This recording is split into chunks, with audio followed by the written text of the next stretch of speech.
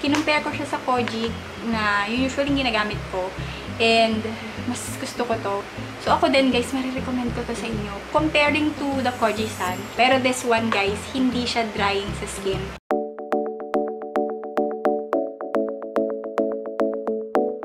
Hello Jammies! Welcome back to our channel. And for today's video, I'm going to share to you yung recently lang nagamit kong soap. And actually, isang beses magmumukha tong um, first impression review nitong soap na to kasi isang bar pa lang actually yung nagagamit ko. And hindi ko na alam kung madidire-diretso ko ba itong gamitin kasi actually yung availability yung problema ko with this soap. So if you wanted to know kung ano yung soap na isi-share ko, please keep on watching. Okay, so yung sabon na gusto kong i-share sa inyo is ito guys. So, ayan siya. This one is the Angel Skin Skin Lightening Bar with Kojic and Giga White. I actually got this from Guildbox. So, ayan. Thank you so much, Guildbox, for this. Um, so, thank you kasi na-try ko siya. Actually, nagustuhan ko to, guys. And yung isa pa nilang variant, yung white naman na variant, yung may glutathione yata yun, guys. Um, whitening din yon and ganito din yung size niya. Um, if hindi nyo pa Actually, wala na tong laman, guys. Kasi, nagamit ko na nga siya. Isa lang yung nakuha kong ganitong soap. I just wanted to share it to you kasi kinumpare ko siya sa Koji na usually ginagamit ko.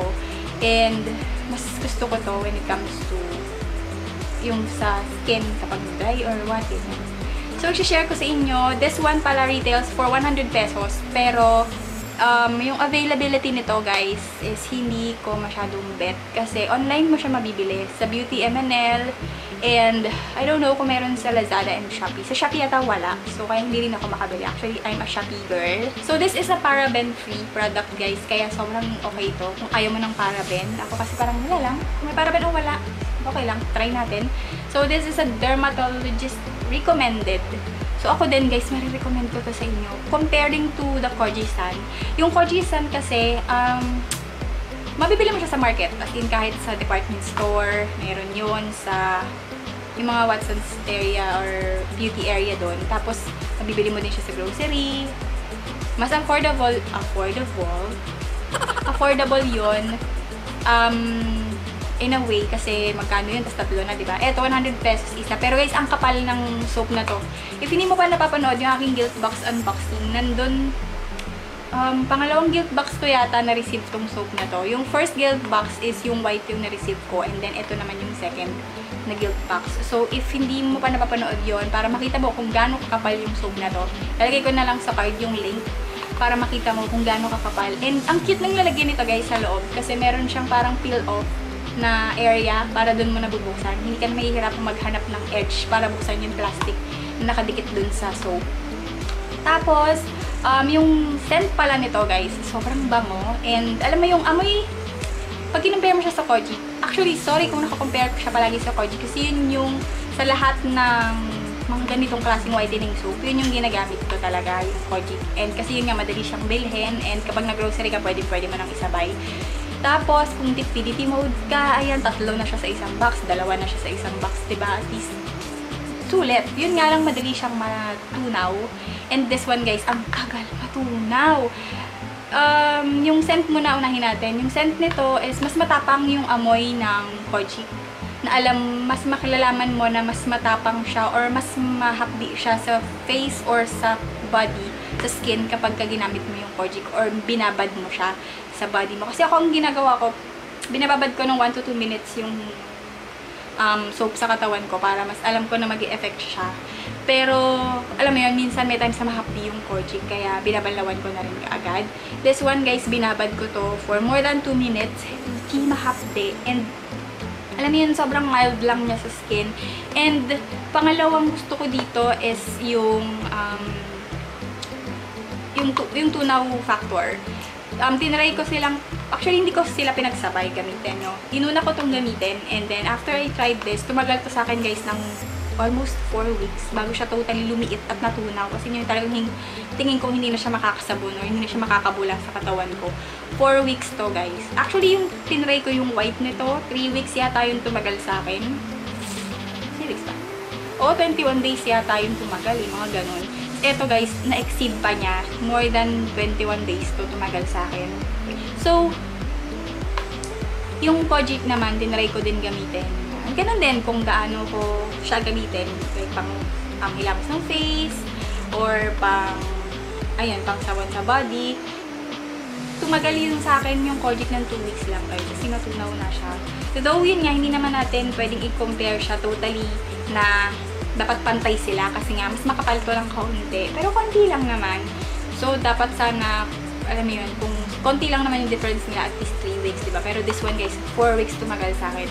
So, ayun lang. Ganyan lang yung ma-share ko with this um, soap, guys. So, ang hindi ko lang talaga bet is yung availability niya. So, Angel Skin, baka naman pwede kayo magbenta nito sa Watsons. I know before meron kayo sa Watsons, pero parang pinull out nyo yata. Um, I wanted to try this more kasi nga, um, hindi siya drying sa skin.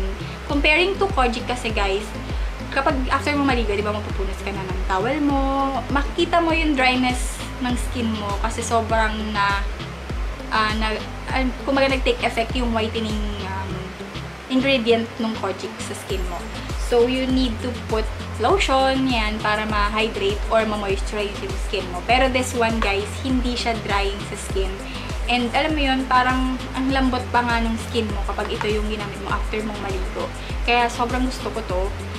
So, ayun lang. Um, I hope nakatulong tong review. Uh, simple and short review ko about this soap. Um, gusto ko lang i-share sa inyo kasi if meron dyan na naghahanap ng alternative for or alternate whitening soap from Kojic na mas mura. So, this one is 100 pesos lang, guys. And tatagal siya sa inyo ng 4 weeks to 1 month. As in, ang tagal niyang... Siguro kung medyo may katamaran ka rin maligo, no? Tatagal talaga to sa'yo, guys. Super. Yan siya. So, I'll give this a 4.8 over 5 kasi nga, yun lang, naka-affect lang yung um, availability niya.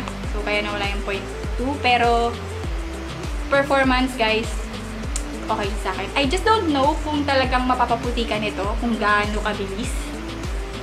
Uh, meron kasi ako mga friends na napansin ko na pumuti sila using yung Kojic. So, totoo yun guys, yung Kojic nakakaputi talaga. Pero this one, uh, hindi ko pa actually masasabi kung pumu pum pumuti ba ako or what kasi isang bar pa lang naman yung nagamit ko. So, sana Angel Skin yung availability. Um, if hindi, hindi nyo na kayang ibalik to sa Watsons, kahit at least man lang sa grocery. So, yun lang guys. If you um, like this video or nakatulong to in any way, sa inyo. Um, please give this video a thumbs up. And also, if hindi ka pa nakaka-subscribe sa ating channel, please consider subscribing para maging updated ka sa mga try-ons pa na ganito. So, ayun lang. Thank you so much again for watching this video, guys. I hope to see you on my next one. Bye!